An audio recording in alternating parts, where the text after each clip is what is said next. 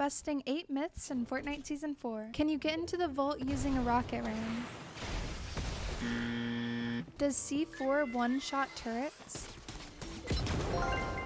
Does a business turret save you from fall damage?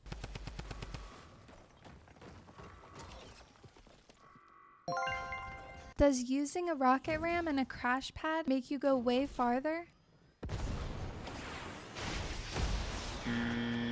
Can you use crash pads to make your car fly in the air? Can you use a rocket ram to get fish? Does a rocket ram save you from fall damage?